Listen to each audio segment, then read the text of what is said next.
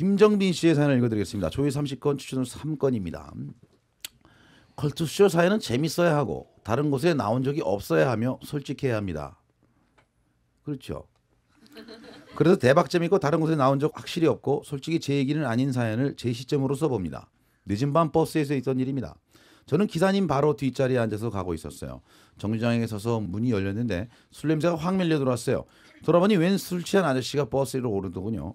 아저씨는 버스 카드를 찍자마자 제 쪽으로 오더니 이렇게 말했어요. 비켜! 비켜! 예? 비켜! 비켜! 비키라고! 거기 내 자리야! 분명 제 뒤에도 자리가 많았는데 굳이 저러는 건 100%술 주정이었어요.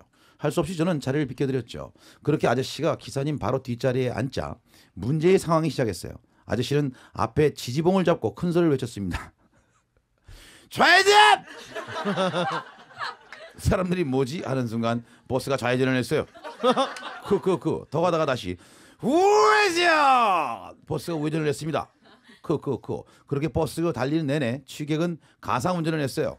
좌회전, 우회전, 우회전, 좌회전, 직진! 놀랍게도 취객이 말하는 대로 버스가 좌회전, 우회전을 하더군요. 아마도 버스 노선을 몽땅 다 외우는 것 같았어요. 버스 안에 있던 사람들도 신기해했고 기사 아저씨도 거울로 흘끔흘끔 보시더군요. 크게 유턴! 크게 유턴을 했어요. 한 번도 틀리지 않고 100% 맞추는 아저씨의 야, 모습이 신기하다. 정말 대단했습니다. 그렇게 30분 넘게 취객은 버스를 조종했어요. 우회전, 좌회전, 크게 유턴. 버스가 우회전, 우회전을 했습니다. 그런데 이어서 들려오는 버스 기사님이 다급한 목소리로 아 이 길이 아닌데, 아 나 이 길이 아닌데. 모두 당황스러운 상황. 술 취한 아저씨는 이렇게 얘기했습니다. 아 나의 실수. 다시 큰 소리로 이렇게 얘기했어요. 후진! 버스는 후진했습니다. 기사분께서 낚이셨군요. 김나리 씨. 저희 오빠는 119 구급대원입니다. 그런데 역시 신고를 받고 출동을 했어요. 거동이 불편하신 노인분을 병원으로 이송하는 거였죠. 가정집에 도착해서 환자 어디 있습니까? 묻자 아주머니께서 방으로 안내해 주셨어요. 방으로 가보니 할아버지께서 누워 계셨고 환자 확인을 위해 물었어요. 할아버지 제 목소리 들리세요? 할아버지 눈 좀 떠보세요. 할아버지 할아버지 할아버지는 아무런 미동도 없으셨어요. 그때 뒤에 서 계시던 아주머니께서 머뭇거리시며 말씀하셨어요. 아우 저기 할머니세요.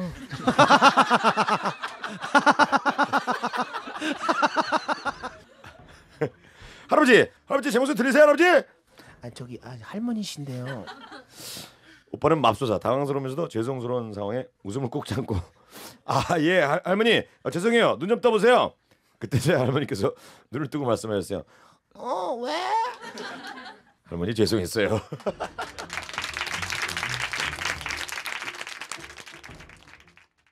익명군은 혀 짧은 게 평생의 컴플렉스자 아픔인 친구였습니다.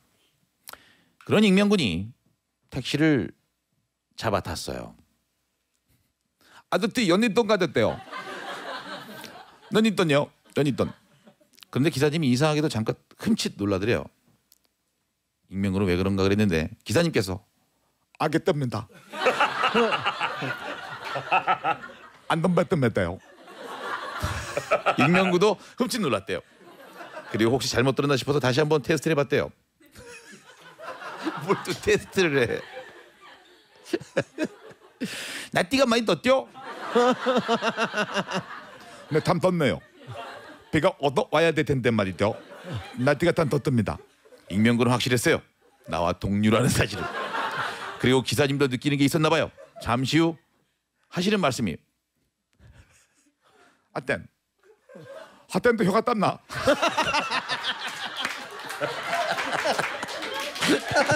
익명군. 네 기사님도요. 기사님도요. 잠깐의 침묵이 많은 것이 담긴 기사님 한마디. 하땐도 힘들었겠구나. 그 한마디 왜, 왠지 울컥하고 눈물이 나올 것 같더래요. 네 기사님도 힘들었나요? 힘들었대. 하땐 때도 어디 때부터 더 많이 힘들었어. 하땐 때더 힘들었고 어디 땐 더 힘들었고 말도 마세요. 둘은 그때부터 서로 힘들었던 얘기를 털어놓았어요. 신기하게 서로의 말을 정확히 알아듣는다는 사실이 기뻤어요.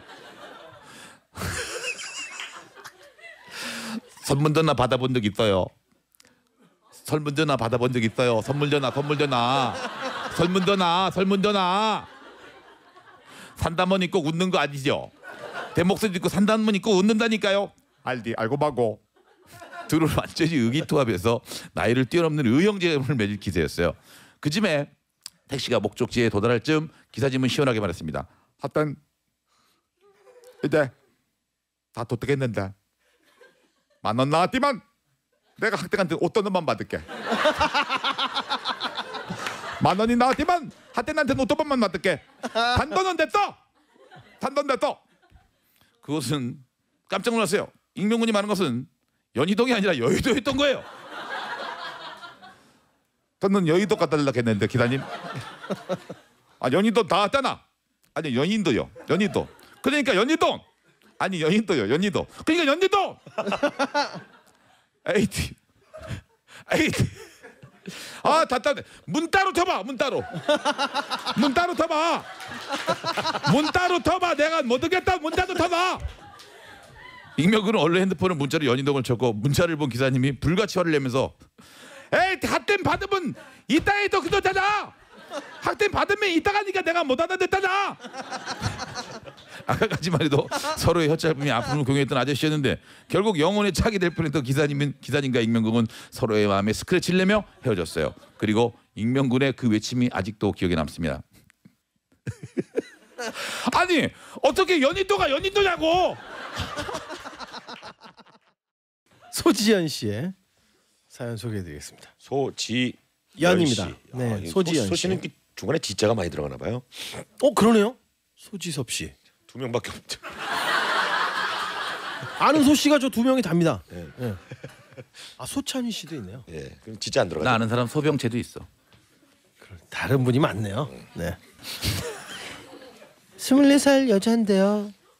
컬투쇼 짱 좋아해서 사연 올리는데 너무 떨려요. 고마워요 소지현 씨. 제 친구 아버님 이야기입니다. 평소에 운동을 좋아하시던 아버님은 자전거 동호회에 가입하셔서 비싼 고가의 자전거와 안전용품을 구입하셨어요. 하루 종일 자전거만 닦고 또 닦으신 아버님을 어머님은 속으로 미워하셨다고 합니다. 그러던 어느 날 아버님이 며칠 후 동호회에서 자전거 타는 모임이 있으니 자전거 라이딩복을 빨아달라고 하셨어요. 그러면서 그리고 엉덩이에 뽕은 두꺼우니까 좀 신경 써서 세탁을 해줘. 이렇게 말씀하셨대요.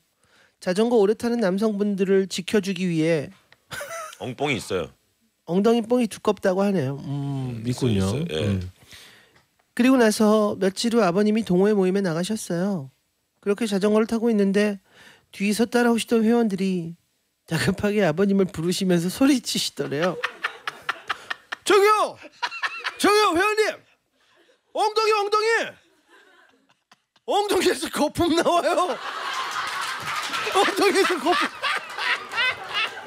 엉덩이에서 거품. 어, 그게 이제 스펀지 소재니까 예, 그게 아직 거품이 안- 비누 비누 질이 안 빠졌으면 걔한테 거품이 쩍쩍하면서 깜짝 놀란 아버님은 깜짝 놀란 아버님은 자전거에서 내려 운동복을 확인하셨는데 정말 엉덩이에서 비누 거품이 나고 있었던 거예요. 알고 보니까 어머님이 운동복 세탁하실 때 엉덩이 뽕을 제대로 물에 헹구지 않아서 땀이 나면서 엉덩이 뽕에 비누 거품이 났던 거래요. 그 뒤로 아버님은 직접 운동복을 물에 헹구신다고 합니다. 끝! 어우, 야 뒤에 분은 황당하셨겠네. 깜짝 놀래죠. 지금부터 16년 전 한겨울 12월에 첫 미팅을 하게 됐죠. 커피숍에서 만난 그와 전 인해서 서로가 마음에 들었고 근사한 저녁을 사준다는 그린 멋진 레스토랑으로 저를 데리고 가서 우린 스테이크에 우아한 칼질을 했어요. 이 길인데 혹독한 겨울인지라 당시 전 감기에 걸려 있었습니다. 코에는 콧물을 한가득 머금고 있는 상태였고요. 멋진 음악이 흐르고 그와 식사하는 중 간질간질하던 목에서 기침이 흘, 나오려는 것이었어요. 그래서 전 식사 중에 침을 튀길 수 없다는 생각에 입을 꾹 닫고 기침을 했는데 헉 그만 기침과 함께 콧물 한 방울이 제 안심 스테이크 위에 뚝 하고 떨어진 거예요. 뚝. 전 너무 놀라서 그냥 소스와 함께 버무려 버렸어요. 어 깜짝깜짝했는데 어 빨리 떨어졌으면 모를 수도 있었어요. 그 스테이크 소스와 함께 짭짤하겠다. 어, 전 너무 놀라서 그렇게 버무렸죠. 다행히 식사에 열중한 그냥 눈치채지 못한 것 같았어요. 어, 찝찝했지만 그래도 뭐 어차피 내 거고 시침을 뚝 떼고 전 스테이크를 몇 조각 더 먹다가 포크를 내려냈죠. 짜증 날라. 그후 우리는 영화도 보고 음, 노래방도 가고 서로 관심사도 비슷한 듯 했죠. 아침 11시에 만나 밤 12시까지 첫 데이트를 보냈습니다. 야 오랫동안 만났네. 헤어질며 그는 내게 또 연락해도 되겠냐며 다정하게 묻고 저는 흔쾌히 좋다고 긍정을 표현했죠. 전 다음 날 그의 연락을 기다렸습니다. 그 다음 날, 그 다음 날도, 그 다음 날도 그는 내게 연락이 없었죠. 일주일 후 드디어 그에게서 연락이 있었어요. 문자로 죄송합니다. 고민하고 생각해 보았습니다. 미정 씨의 콧물 소스가 잊혀지질 않습니다. 봤구나. 우린 여기까지인가 봐요. 그 사람 비도 줬다. 그걸 또 일주일간 생각했어 뭘. 그럼 좋은 사람 만났어요? 전 그때 일을 잘 모르는 줄 알았는데 다 캐치하고 있었던 거예요. 이런 그게 그렇게도 아니었답니까? 아 그래 이거 인연이 아닌 거죠 뭐. 아니 뭐가 잘못된 거냐면 비비기에 잘못된 거예요 비비기에. 그거를 이렇게 걷어냈다거나 어머 이랬어야지 확 비벼버리고 먹어버리니까. 그런 여자를 누가 만나고 싶겠습니까? 콧물을 먹는 여자를? 아니 뭐 코- 앞으로 는 비비지 마요. 저희 아빠랑 버스를 타서 한참을 가고 있는데 은밀히 아빠가 귓속말을 해왔어요. 네. 야야야 저기 할아버지 봐봐. 바지 지퍼 흘렸어.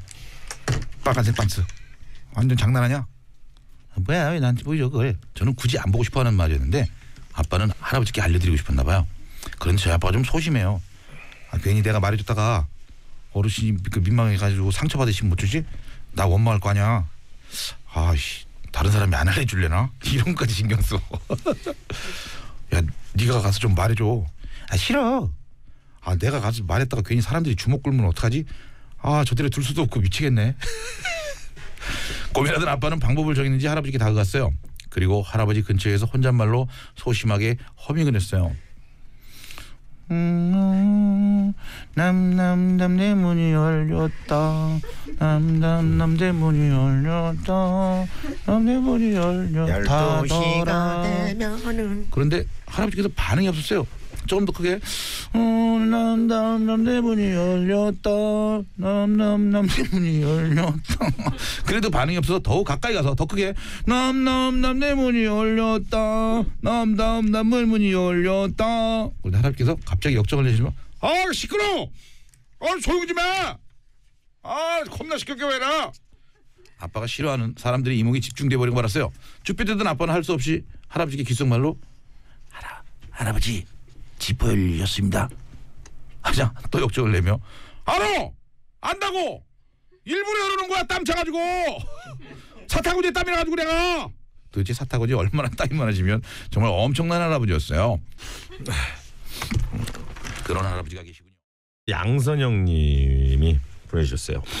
아홉 살 일곱 살 자매를 키우고 아홉 살 일곱 살 자매를 키우고 있는 아줌마예요.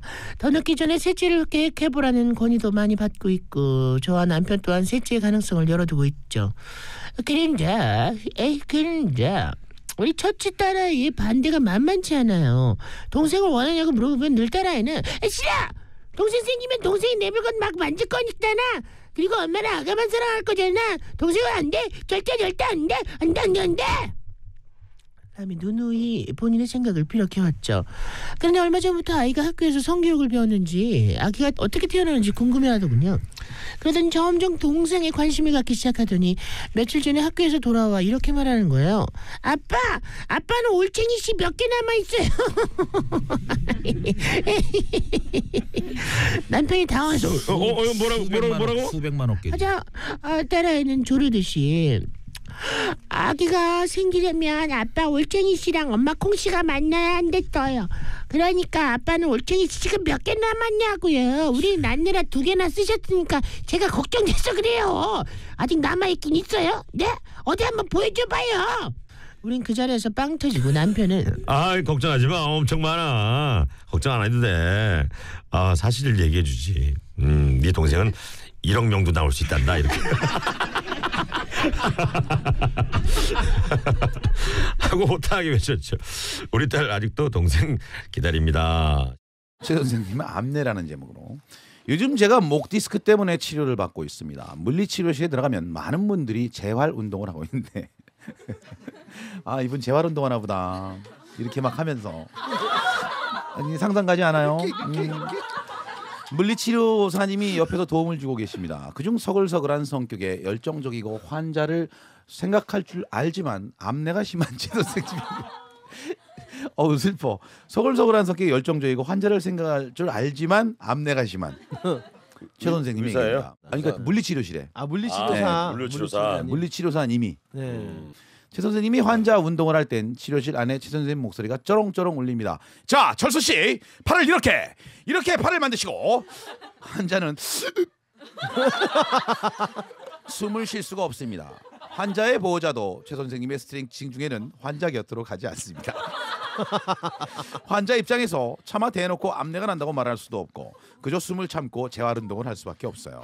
그렇게 숨을 오래 참아서 얼굴 표정이 일그러지면 좋습니다. 그렇게 필사적으로 재활을 하시면 되는 거예요.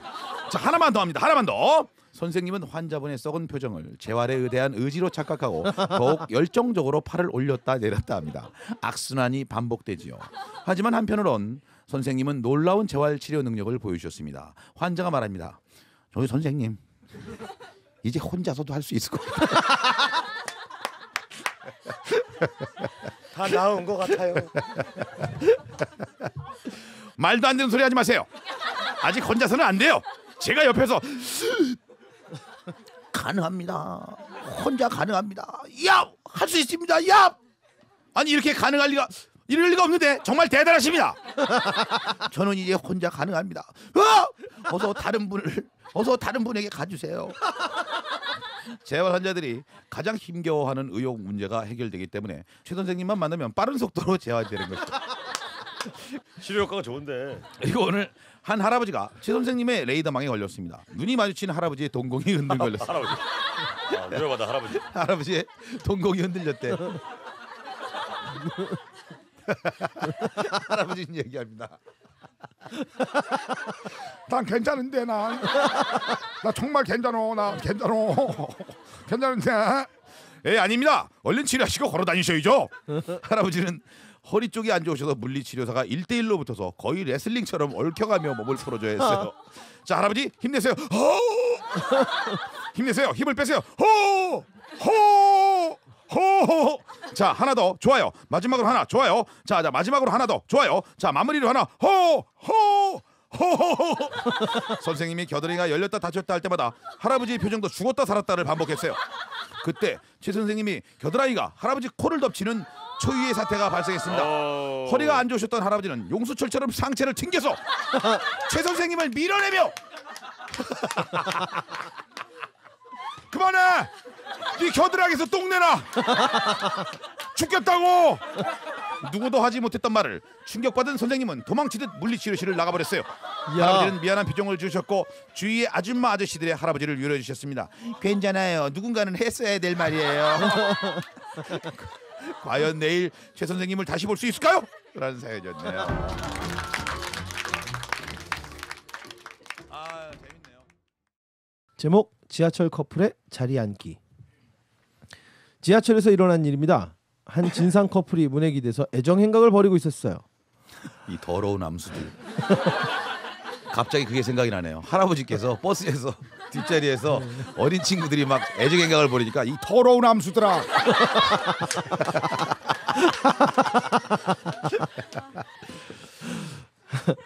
어, 한 진상 커플이 문에 기대서 애정 행각을 벌이고 있었어요. 어 자기야 자기 진짜 왜 이렇게 이뻐 코에 한 점이 꼭 한가인 같아 음. 아 여기 써 있어서 그러는 거야 내가 그런 게 아니고 왜 날 보고 그래 어 몰라 진짜 진짜 한가인 같아? 음. 자기는 눈도 참 예쁜 것 같아. 얼핏 보면 이민정 같아. 이민정. 아 몰라 정말 이민정 닮았어?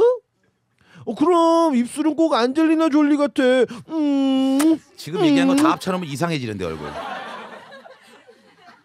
이 더러운 함수들. 닭살 멘트를 주고받으면서 뽀뽀를 하고 아주 난리도 아니었어요. 그런데 여자 덩치가 남자의 두 배였습니다. 강함에 못 이겨서 하는 얘기구나. 네. 그때 앉을 자리가 하나 났어요. 자기야 얼른 앉아 음 싫어 싫어 예쁜 자기가 앉아. 자기가 앉은 다음에 내가 자기 무릎에 앉으면 되지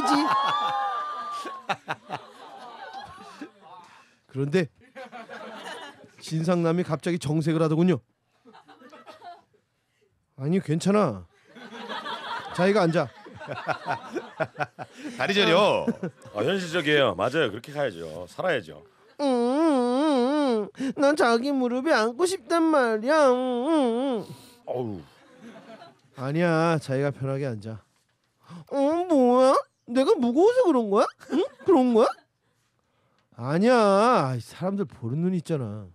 좀 전까지 진상 짓은 다 해놓고 저딴 소리를 해대는 겁니다. 근데 제가 보기에도 그녀를 무릎에 앉혔다가는 다리뼈가 으스러질 것 같았어요. 진짜 내가 무거워서 그런 거야? 그런 거냐고 할 수 없이 남자가 자리에 앉았습니다. 그리고 여자가 무릎 위에 앉으려는 순간 옆자리에 앉아 계시던 아저씨가 넌지시 일어나 자리를 양보해 주셨어요. 이봐, 그러지 말고 아가씨는 여기 앉아. 어 진짜 안 그러셔도 되는데 감사합니다 근데 아저씨가 내리시면서 일단 사람이 살구는 봐야지. 그렇게 남자의 다리는 무사할 수 있었습니다.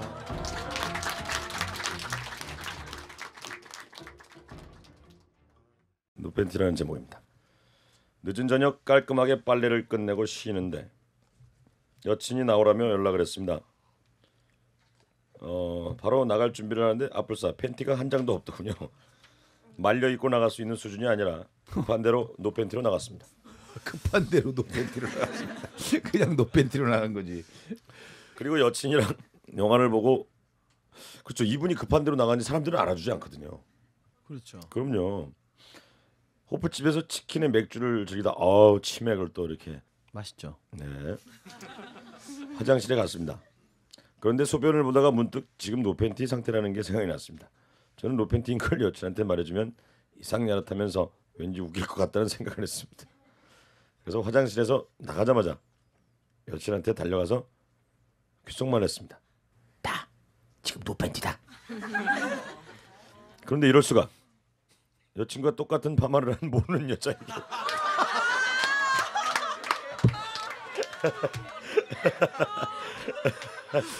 뭐, 어, 여자 얼마나 황당했을까요? 뭐, 뭐라 뭐 그냥 뭐 변태로 바뀌었죠. 여친과 똑같은 파마를 한 모르는 여자에게 귓속말을 해버린 거예요. 그 여자와 눈이 마주쳤고 당황하고 있는데 그녀가 절 보고 하는 말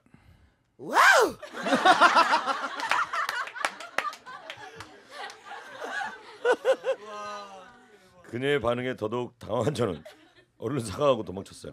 보통 모르는 남자가 귓속말로 나 노팬티다. 라고 말하면 변태 취급할 텐데 그 여자는 wow 화끈한 여자였어요. 다시 만나고 싶어요.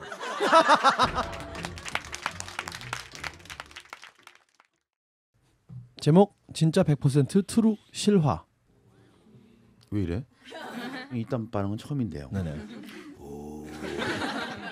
음산하네요. 조회수 93건에 추천수 5건입니다. 아무도 없는 지하철 화장실에서 혼자 큰일을 보고 있을 때 일이에요. 한 할아버지께서 소변을 보러 들어오셨는데 들어오시면서 힘없는 목소리로 계속 중얼거리셨어요. 아 귀찮아 진짜. 아 귀찮아. 하루에 한 번만 싸고 싶다. 아 그렇잖아. 하루에 한 번만 나오면 안 되나? 아 귀찮아 진짜. 아 처먹지를 말아야 되는데. 하루에 한 번만 싸면 얼마나 좋을까? 아 귀찮아. 할아버지 혼잣말이 너무 웃겨서 귀를 기울였어요. 할아버지는 계속 힘없는 말투로 아 귀찮아, 아 귀찮아, 진짜 하루에 한 번만 싸고 싶다. 아 좀 나와라. 아, 나올, 잘 나오지도 않는 거야.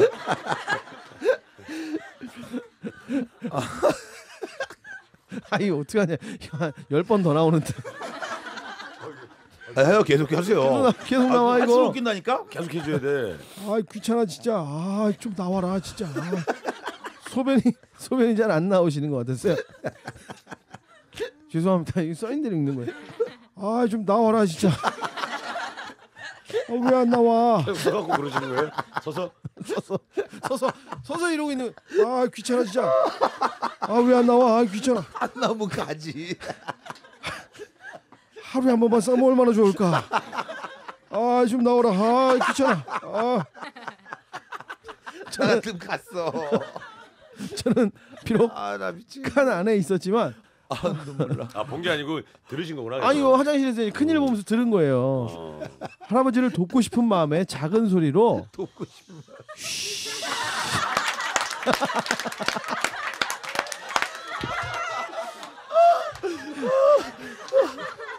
소리를 내드렸어요. 할아버지는 당황하신 듯 중얼거리시던 걸 멈추셨습니다. 그리고 잠시 후 고마워. 아 참 훈훈한 사연이네요. 아유. 저는 한참을 웃은 뒤에야 하반신의 긴장이 풀려서 본연의 임무에 충실할 수 있었습니다.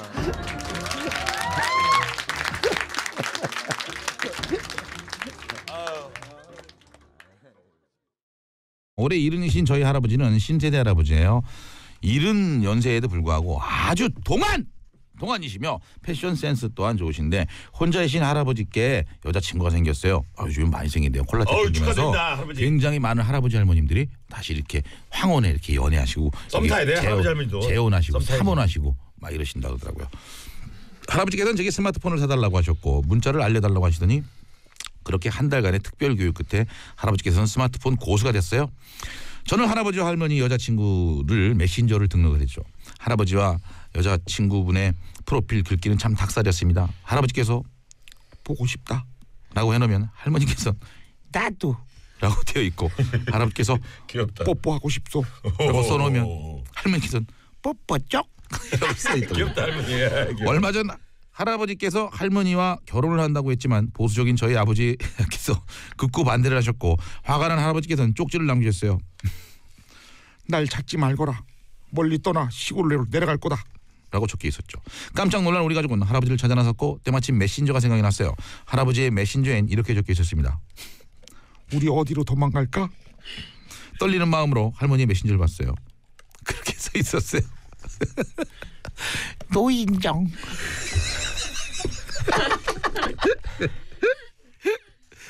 결국 노인정에 있는 할아버지 할머니를 발견. 아버지께서도 결국 결혼식을 해드리자고 말씀하셨고 올 12월 12일에 오. 신랑이 되십니다. 이야. 할아버지 정말 사랑합니다. 할머니 오래오래 사세요. 이야. 야 축하드립니다. 멋있다. 네, 만약 혼자 되셨다면 본인들의 마음이 이렇게 팔팔 끓어오르면 사랑하게 해주셔야죠. 하나 더 읽어드리겠습니다. 장진주 씨, 19살 소녀 여자분이시고요. 11년 전 고3 때 일이에요. 당시 PC방이 생겨나기 시작했고 채팅이 성행했어요. 절친이었던 친구와 저는 시간 나면 모여서 아 시간 나면 모여라는 그룹 채팅방을 알게 되었고 학교가 끝나면 미친 듯이 PC방으로 달려가서 지문이 닳도록 타이핑을 치며 사이버 공간에서 놀기 시작했죠. 서로 친해져서 펜팔 대하고 정모도 하는 건전한 모임이었죠. 그러던 어느 날 제게도 사랑이 찾아왔어요. 네 살 많은 오빠였는데 채팅방 안에서 매일 대화를 나누고 그러다 전화 연락을 하고 얼굴은 모르지만 우린 가까워졌어요. 여름방학이 왔고 저는 엄마를 졸라 외할머니 댁에 갔어요. 할머니는 순천에 사시는데 오빠도 그곳에 살았거든요. 제가 할머니 댁에 도착한 날 저녁 때 만나기로 했어요. 당시 저는 규미 3cm 촌스러운 단발머리였죠. 게다가 곱슬, 별명이 빗자루, 개털, 마당스러웠어요. 여자였는데 마당스러. 도저히 그런 제 모습을 보여줄 용기가 나지 않아 허리까지 오는 긴 생머리 가발을 샀어요. 와. 순천에서요. 오빠를 만나기로 한 날 저녁 한껏 꾸미고 가발을 썼어요. 근데 자꾸 속머리가 삐져나오더라고요. 어떡할까 고민하는데 스타킹이 보이더군요. 할머니 스타킹이었어요. 살이 비치는 아주 진한 살구색 스타킹이었죠. 머리 스타킹을 일단 썼어요. 짱짱했죠. 그 위에 가발을 쓰고 고정시키기 위해 모자도 눌렀었어요. 오빠가 말했어요. 머릿결이 정말 좋다. 전지현 같은데 관리 많이 하나 봐. 관리는요 무슨 그냥 샴푸만 쓰는데요 뭐. 아, 근데 땀을 엄청 흘린다. 많이 더워? 그때 옷은 미칠 지경이었죠. 스타킹에 가발에 모자까지 정말 졸떨 것 같았어요. 오빠는 친구들을 소개시켜준다며 시내로 나갔고 한 명 두명 모이더니 열다섯 명이나 됐어요. 저녁을 먹으러 다 같이 고깃집에 갔죠. 고기를 구워 먹는데 갑자기 옆 테이블에서 싸움이 났어요. 오빠와 친구들은 말리려다가 휘말렸고 또 싸움이 커졌어요. 우리 쪽 15명과 상대편 12명이 식당 밖으로 나와 몸싸움이 시작됐죠. 남자들의 주먹 다짐을 처음 본 저는 겁에 질려버렸고 그런 저를 오빠는 집에 보내주려 했죠. 그런데 뒤에서 야! 야야 저 자식 도망간다! 하는 거예요. 싸우던 사람들이 일제히 우리를 봤고 오빠는 뛰어! 하며 제게 눈짓을 보냈죠. 순간 제 손을 잡으려던 오빠는 실수로 제 가발을 잡았어요. 가발이 훌러덩 벗겨졌고 싸움은 중단됐어요.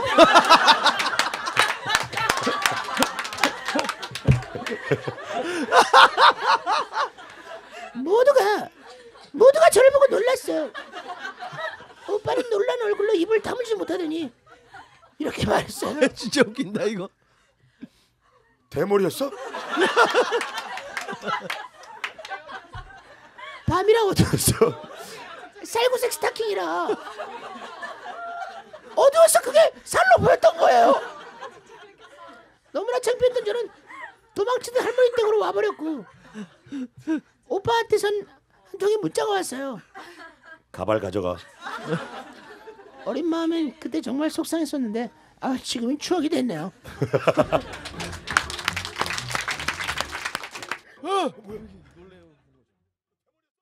솔로 대표 폐해라는 제목으로 보내주셨습니다. 재작년 우리 아버지 혼자 되신 지 횟수로 10년 넘어가는 연말 어느 날 그런 아버지 뒷모습이 너무 외로워 보여서 아버지 아버지한테는 제가 했잖아요. 그랬더니 아버지가 네가 해서 더 슬퍼 임마 매일 혼자만 여자친구 만나고 어? 뭐 누구 약 올리냐? 하시길래 저는 농담 삼아 그럼 제가 여자친구 한번 소개시켜드릴까요? 했더니 아버지는 안 그래도 나 내일 솔로 대시험 나가기로 했어 벌써부터 떨려갖고 오금이 저리나가 나 지금 아우 그때 비둘기 엄청 많이 왔다던데 사실은 저는 깜짝 놀랐어요 내일 내가 좋은 짝 데리고 오면은 어 보여줄 테니까 기대해라 하시길래 은근히 기대하고 있었죠 그런데 아버지는 60대인데 아버지보다 더 나이가 많아 보이는 한 할머님과 같이 나타나서 제게 작은 소리로 없어 없어. 두 시간 내내 돌아다니다가 간신 한 명 찾았는데 연상이야. 내가 연상을 좋아하긴 하지만 하시면서 아버지는 그분을 거의 부축하다시피 하고 오셨어요. 제가 볼 땐 만남이라기보다는 오히려 할머니 눈에 아버지가 띄어서 잡히신 것 같다는데 그렇게 며칠 만나시나 싶더니 아버지가 도망 다니셨어요. 너무 웃기다 부추. 아직도 솔로이신 아버지 아유. 올해는 외롭지 않게 제가 챙길게요. 손혜정 씨의 사연. 손혜정 씨. 얼마 전 고모네 이모네 온 가족이 함께 놀러 갔었어요. 그곳엔 닥터 피쉬 물고기가 있더라고요. 그때 딱 닥터 피시 생각나다 또 사연. 두 마리를 사갖고 이제 이렇게 하고 어, 재밌다 그래요. 그 다음날 죽었대잖아요. 과식으로. 과식으로.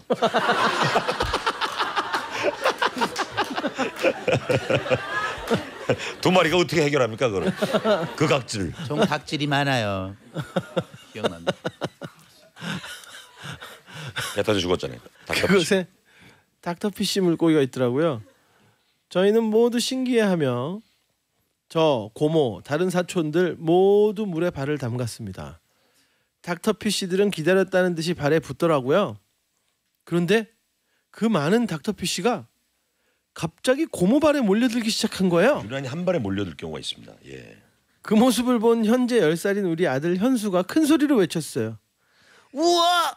고모 고모 발이 맛집인가 봐. 아유 귀엽다. 걔 또 죽을라나 보다 걔 죽으면 어떻게 하냐? 아, PC들 죽는 거 아니니 걔 모르겠네. 죽으면 어떡해. 아이고. 어, 고발이 맛집이야. 아유, 어떻게. 아 대단하네요. 고발이 맛집이야. 저희 형은 야동 수집가입니다. 축하드립니다. 좋은 형을 뒀네요. 근데 얼마 전부터 눈도 안 좋으신 엄마가 엄마가 컴퓨터를 배우시더니 자꾸 형 컴퓨터를 쓰시는 거예요. 그래서 형은 엄마가 클릭하지 못하게 파일명을 어려운 시스템 용어들로 바꿔놨죠. 그러던 어느 날 외출 중이던 형에게 엄마가 전화를 했습니다. 아들 컴퓨터가 이상해 켜지긴 하는데 목통이야 컴퓨터 선생님께서 내주신 숙제를 해야 되는데 아 그럼 컴퓨터에 AS 번호 있지? 어? 거기 전화해봐. 엄마는 AS 센터에 전화를 했고 결국 출장 기사님이 오셨어요. 어머님 컴퓨터가 어떻게 안 되나요? 그냥 목통인데요 아무것도 안 돼요 아 그렇군요. 제가 한번 보도록 하겠습니다. 아 아주 간단한 문제네요. 이젠 잘 될 거예요. 해보세요. 와 이제 잘 되네요 근데 내가 궁금한 게 있는데 아들이 이걸 절대 누르면 안 된다고 했는데 궁금하기도 하고 이런 게 모여서 컴퓨터가 막 돌아가는 거예요?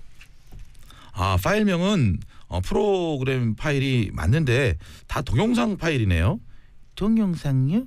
잠깐만요. 이 고생하신 선생님 음료수도 안 드렸네. 잠시만 계세요. 엄마가 부엌에 간 사이 출장 기사님은 별 생각 없이 한 개의 파일을 클릭해봤어요. 그러자 온 사방에 신음소리가 울려 퍼졌고 깜짝 놀라 달려오신 어머님은 어머, 어머, 뭔, 뭔지 남자스럽게 뭔 일이에요? 선생님 뭐 하는 거예요? 왜 나가요? 내 집에서 당장 나가요! 나가요! 아 어머니 그게 그게 아니고 그게 아니고 그렇게 못 참겠어서 남의 집에 컴퓨터 고치러 와서 몰래 봐요! 나가요! 어, 남자 시절에 나가요! 아니 그게 아니고 나가라고요! 당장 나가요! 컴퓨터 출장 기사님은 그게 아니라고요 밖에 말도 못하고 수리비도 받지 못하고 집에서 쫓겨났대요. 게다가 저희 엄마가 온 동네 사람들에게 전화를 걸어서 컴퓨터 수리 기사가 글쎄 얼마나 못 참겠는지 나 몰래 방에 우리 아들 컴퓨터에서 야식구리한 걸 보고 있는 게 아니었 남사스럽게 별의별 일이 다 있어 살다 보니까 이렇게 소문을 내고 계십니다. 컴퓨터 수리 기사님 이 방송을 통해 대신해서 사과드립니다. 죄송해요. 순진이는 욕쟁이. 순진이는 욕쟁이. 이름이 순진인데 욕쟁이에요. 제 친구 순진은 욕을 엄청 잘해요. 이름이 순진인데. 한 번은 순진이랑 욕쟁이 할머니가 하는- 하시는 식당에 간 적이 있는데요. 순진이가 하는 욕을 들으신 할머니께서 욕을 엄청 맛깔나게 잘한다며 할머니가 욕쟁이 할머니가 나중에 할 일 없으면 식당에 와서 일하라고 음식을 더 주신 적이 있었어요. 그 후로 그 식당 단골이 됐고요. 아무튼 욕쟁이 할머니께도 인정받은 순진이의 별명은 선우 욕녀였습니다. 용녀. 선우 욕녀. 그러던 어느 날 순진이에게 소개팅 건수가 생겼어요. 순진이는 이번만큼은 소개팅 자리에서 욕을 하지 않고 꼭 남자를 사귀겠다는 굳은 다짐을 했습니다. 그리고 미스코리아 미소만 지은 채 남자가 질문하면 수줍게 단답형으로 대답만 했어요. 하지만 결국 일이 터지고 말았습니다. 순진이가 잠깐 화장실을 가려고 일어나는데 지나가던 아저씨와 부딪힌 거예요. 순진이는 자기도 모르게 감탄사를 외쳐버렸습니다. 아 이런 미네랄 사람들의 시선이 순진이 쪽으로 향했어요. 순진이의 말에 기분이 상한 아저씨가 말했습니다. 아니 아니 아니 부딪힌 건 미안한데 아 그래도 욕할 필요까지는 그거 없잖아요. 그러자 순진이가 억울하는 듯이 말했어요. 아, 제가 언제 욕을 했다고 그러세요 방금 했잖아요 미네랄이라고. 아저씨 그게 무슨 용이에요 그냥 일상 단어지 아니 그게 일상적인 단어면 대체 욕은 뭐란 말이에요? 아저씨 진짜 욕이 뭔지 보여드려요 아이 그럽시다. 진짜 여기 뭔지 이거 어디 한번 드러나 봅시다. 이성을 잃은 순진은 결국 넘지 말아야 할 선을 넘고 말았습니다. 삐삐삐리삐삐리삐삐삐삐 순진이 현란한 욕 스킬에 모두들 놀랐고 잠시 넋을 놓고 있던 아저씨도 아, 아 아가씨 아 미안해요. 아 미네랄은 욕이 아니네요. 그렇게 소개팅에서 또 실패한 순진이는 속상해서 욕쟁이 할머니 식당으로 가서 술을 마셨어요. 그러다 울음을 터뜨렸습니다. 아유 이 잡거사! 왜 울고 자빠졌어 할머니 오늘 소개팅 했는데 또 허탕 쳤어요. 아 욕만 안 했어도 남자를 건질 수 있었는데. 할머니 훈계가 이어졌어요. 나는 욕을 수명나게 해도 남자를 만날 거 다 만나고 결혼해서 새끼까지 낳았어. 네가 남자를 못 사귀는 건 욕 때문이 아니야. 아 그럼 뭐 때문이에요 할머니는 예리한 눈빛으로 순진을 바라며 말씀하셨어요. 너는 상판떼기부터 글러먹었어 아우 제대로 직원을 하셨네요. 그 말에 순지는 서럽게 울다가 식당을 나와서 10단 콤보 욕을 퍼붓고 할머니와 인연을 끊어버렸어요. 납작한 신체의 비밀. 이 친구가 나이 다 들어가지고는 뒤늦게 가슴 확대 수술을 하고 싶다길래 저와 함께 성형외과에 상담을 갔어요. 상담실 들어가서 같이 설명을 듣는데 여자 신체를 보고 잘을 되어가며 아무렇지도 않게 이런저런 이야기하는 의사 선생님도 신기했습니다. 그런데 친구가 상담을 다 받았는데 친구가 갑자기 저보고도 상담을 받아보라는 거예요. 아, 어머 난 싫어해. 내가 상담받을 데가 어딨다 그래. 됐어. 야 이 지지배야. 너가 상담 안 받을 정도면 우리나라에 성형외과 다 없어져야 해. 그 말에 충격을 받았어. 창피함을 무릅쓰고 평소 제가 가지고 있던 조그만 컴플렉스를 상담했어요. 선생님, 뭐 그냥 스트레스 받는 건 아닌데 제 코가 좀 납작해서 고민은 고민이었어요. 그러자 선생님은 자를 얼굴에 이리저리 대어보더니 음, 코는 절대 납작하지 않습니다. 이마하고 입이 튀어나와서 상대적으로 되게 들어가 보이는 거예요. 예, 그렇습니다. 제 의견은 그래요. 왠지 퉁명스러운 선생님의 말씀에 오기가 생겨갖고 이번엔 다른 신체 부위를 상담했죠. 그럼 선생님, 사실 저도 친구처럼 가슴이 좀 납작한데 이건 어떤가요? 음, 가슴이 납작한 편은 아니세요. 단지 배가 많이 나와서 상대적으로 들어가 보이는군요. 이 살을 빼시면 되겠습니다. 예, 제 의견은 그래요. 자존심이 상했지만 더 우기가 생겨갖고 이번엔 다른 부위를 물어봤죠. 이 그럼 선생님, 제 엉덩이가 이렇게 납작한 것도 배가 나와서 그런 겁니까? 그러자 의사는 한참 고민하다 싶더니 음, 엉덩이 납작합니다. 그쵸 그쵸 납작하죠? 그걸 어떻게 해야 돼요? 그러자 의사 선생님 말했어요. 그, 음, 근데 그 그건 말입니다. 그만 좀 앉아 있고 운동하세요. 움직이지 않고 앉아만 있어고 더 그런 겁니다. 예, 제 의견은 그렇습니다. 그날 장사하기 싫어하는 새 선생님의 3단 콤보에 아 저의 신체는 만신 차이가 됐죠. 신종은 백지영의 총 맞은 것처럼 신정해요. 에러 에러 에러